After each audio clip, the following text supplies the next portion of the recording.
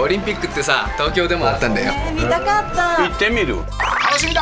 よし出発うわすごい人ドライブ行かない？誰かに似てない？似てないよ。すご